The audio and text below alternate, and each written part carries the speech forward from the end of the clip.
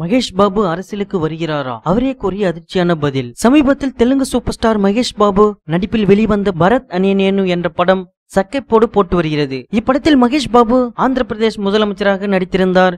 இப்படம் முழுக்க தற்போதைய மோசமான அரசியல் பார்வையை பிரதிபலித்து அதை மாற்ற முயற்சிக்கும் இளம் முதலமைச்சராக நடித்தார். வர்த்தக ரீதியாக இப்படம் வசூல் அள்ளி வருகிறது குறிப்பிடத்தக்கது. இந்நிலையில் படம் வெற்றி பெற்றதையொட்டி நேற்று திருப்பதி கோவில் சாமி தரிசனம் செய்தார். அப்படியே அங்கு இருக்கும் திரையரங்கு சென்று ரசிகர்களை சந்தித்தார் மகேஷ் பாபு. அப்போது கூடியிருந்த பத்திரிகையாளர்கள் உங்களுக்கு அரசியல் வர எண்ணம் உள்ளதா? என்ற கேள்விக்கு அரசியலை மையமாக கொண்டு எடுக்கப்பட்ட இந்த படத்தில் இயக்குனர் எனக்கு சொன்ன கேரக்டரை உள்வாங்கிக் கொண்டும் மாமாவும் எம்பியுமான கல்லா ஜெயதேவ் பார்லிமெண்டில் நடந்து கொள்ளும் விதத்தை வைத்தும் நடித்துள்ளேன். நூறு ஆண்டுகள் ஆனாலும் மேக்கப் போட்டுக் கொண்டு திரைப்படத்தில் மட்டுமே நடிப்பேன். அரசியலுக்கு வரும் எண்ணம் இல்லை என அவர் தெரிவித்தார்.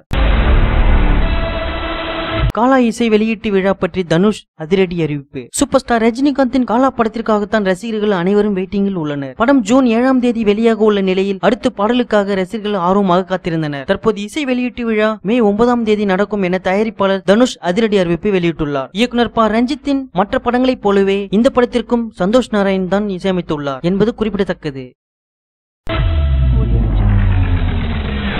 அஜித் ரசிகர்களுக்கு பிறந்தநாள் பரிசாக ஆர்யா கொடுக்க போகும் சர்ப்ரைஸ் வருகிற மே ஒன்னாம் தேதி தமிழ் சினிமாவில் தலை என்று செல்லமாக அழைக்கப்படும் அஜித் குமார் அவர்களுக்கு பிறந்த நாள். அவரது ரசிகர்கள் அஜித் பிறந்த நாளை நல்ல உதவி திட்டங்களுடன் கொண்டாட திட்டமிட்டுள்ளனர். விஸ்வாசம் படக்குழுவிடமிருந்து விஸ்வாசம் படத்தை பற்றி எந்த ஒரு அறிவிப்பும் வராத நிலையில் ரசிகர்கள் சோகமாக இருந்து வரும் நிலையில் தற்போது சந்தோஷ செய்தி ஒன்று ரசிகர்களுக்கு வெளிவந்துள்ளது. நடிகர் ஆர்யா அஜித் ரசிகர் என்று எல்லோருக்கும் தெரியும்.